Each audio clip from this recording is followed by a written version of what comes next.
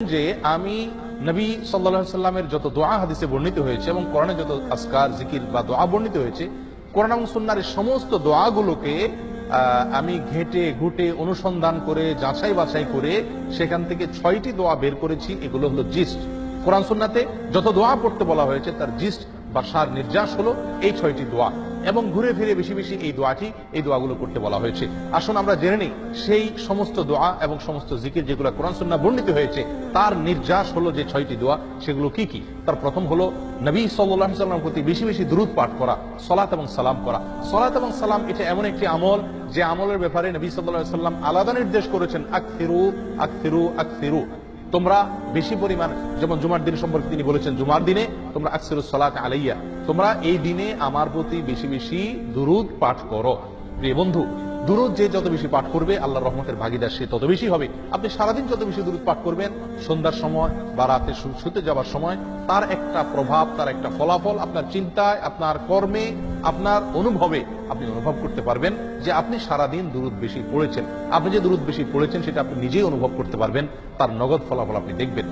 Number দুই, দ্বিতীয় নম্বর আমল হলো ইস্তেফার বেশি বেশি করা। ইস্তেফার এমন একটি আমল যে আমল সম্পর্কে নবী সাল্লাম বলেছেন, মান লাজিমা আল ইস্তেগফার মান কাফার আল ইস্তেগফার ইস্তেগফারের ভারেও বলা হয়েছে, মান লাজিমা। ইস্তেফারকে যে আঁকড়ে ধরবে, এটাকে যে- লেগে থাকবে ইস্তেগফারকে নিয়ে। এবং যে ব্যক্তি বেশি পরিমাণে করবে ইস্তেগফারের বহুবিধ উপকারের কথা আমরা সবাই সবাই কম বেশ জানি উপকারিতার কথা। এর মাধ্যমে বড় বড় বিপদ আপদ দূর হয় আল্লাহর গজব থেকে মানুষ বেঁচে থাকতে পারে। আল্লাহ তালা ইস্তেগফারের মাধ্যমে আদম আলি আলাইসাল্লামকে ইউস আলাহিসাল্লামকে বিপদ থেকে রক্ষা করেছেন এবং নবী সাল্লাহ সাল্লাম বহু হাদিসে এ বিষয়ে উৎসাহ দিয়েছেন। এখানে আহ, ইস্তেগফারের ভিতরে অনাবৃষ্টির সমস্যা দূর হয় অভাবের অনটনের সমস্যা দূর হয় নিঃসন্তান থাকার সমস্যা দূর হয় ইস্তেগফার বেশি বেশি করার মাধ্যমে। প্রিয় বন্ধু যত বেশি ইস্তেগফার করবেন তত বেশি আপনি বিপদ আপদ থেকে আল্লাহ সুবহানাহু আপনাকে রক্ষা করবেন, এটাও বেশি বেশি করা উচিত। নাম্বার তিন, ইয়াদ আল জালালি ইকরাম। এটি এমন একটি আমল, এমন একটি দোয়া, যে দোয়াটি, যে জিকিরটি সমাজ থেকে প্রায় বিলুপ্ত হয়ে গেছে। নবী সাল্লাল্লাহু সাল্লাম মুসনাদ আহমদ এবং সুনানে তিরমিজির বিশুদ্ধ সূত্রে বর্ণিত হাদিসে বলেছেন আলিজু বি ইয়াদ জালালি ওয়াল ইকরাম। তোমরা ইয়াজ আল জালালি ইকরাম এই বাক্যটি, এই দোয়াটি, এই জিকিরটি বেশি বেশি পরিমাণে করো, অধিক পরিমাণে করো।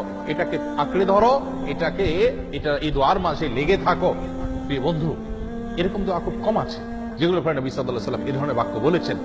বেশি বেশি করার কথা, লেগে থাকার কথা।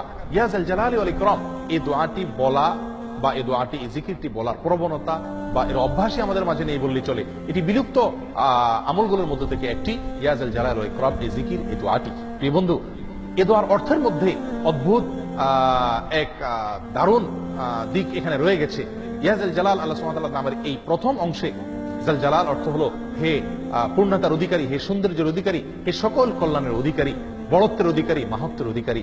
আর বল ক্রম মানে হলো হে দাতা, হে দানশীল আপনি দেওয়ার ক্ষমতা আপনি রাখেন কেবলমাত্র। প্রিয় বন্ধু, একাধারে আপনি ইয়াজাল জালাল আলী ইকরাম বলে আল্লাহ তালাকে যখন ডাকছেন, কেমন জন্য আপনি আল্লাহ তালাকে একসঙ্গে প্রশংসা করছেন, আবার আল্লাহ ওয়া কাছে আপনি চাইছেন তাকে দাতা বলে। তিনি জানেন আপনার কি প্রয়োজন। অতএব এই বাক্যটিও সারাদিনে রাতে বেশি বেশি পড়া উচিত।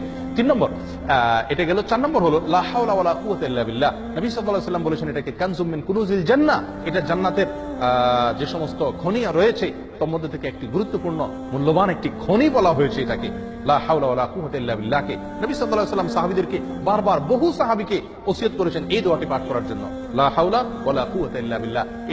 যত বেশি পড়বেন, ইনশাআল্লাহ তার ফলাফল আপনি নগদে দেখতে পারবেন। আল্লাহর রহমত, আল্লাহর করুণা, আল্লাহর পরিকল্পনা আপনার জন্য কি সুন্দর রয়েছে তাতে আপনি সারপ্রাইজ অনুভব করবেন। প্রিয় বন্ধু, যদি এই লাহর আল্লাহ কোয়াতে কুওয়াতা ইল্লা বিল্লাহ আমলটি বেশি বেশি করেন। পাঁচ নম্বর হলো, নবী সাল্লাহ সাল্লামের শেখানো বাতানো আরেকটি দোয়া, যেটি ইউনুস আলাইহিস সালামের দোয়া ছিল, যেটি কোরআনে আল্লাহ তাআলা বর্ণনা করেছেন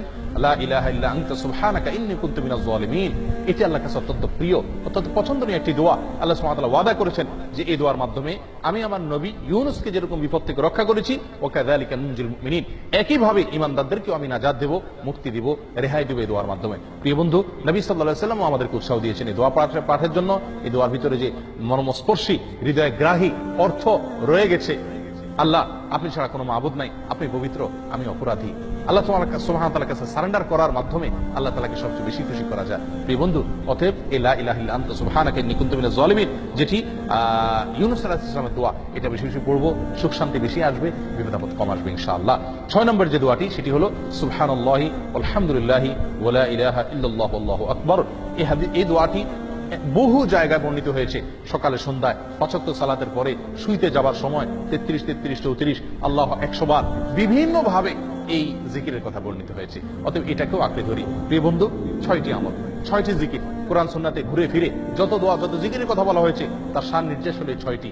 প্রথম, নবী সাল্লাহ ইস্তেফার করা। দুই দ্বিতীয়ত বেশি বেশি প্রথম হলো নবী সাল্লাহ সাল্লামের জন্য সালাত সালাম পেশ করা। দুই নম্বর হলো বেশি বেশি ইস্তেফার করা। তিন নম্বর হলো ইয়াজ জালালি আল ইকরাম, এই দোয়াটি, এই জিকিরটি বেশি বেশি করা আল্লাহকে বেশি বেশি ডাকা এভাবে। নাম্বার চার হলো লা হাওলা ওয়ালা কুওয়াতা ইল্লা বিল্লাহ, বেশি বেশি পড়া। নাম্বার পাঁচ ইউনুস আসলামের দোয়া, লা ইলাহা ইল্লা সুবহানাকা এটা পড়া। এবং ছয় নম্বর হলো সুবহানাল্লাহ, ওয়ালহামদুলিল্লাহ ওয়ালা ইলাহা ইল্লাল্লাহ এই দোয়াগুলো পড়া।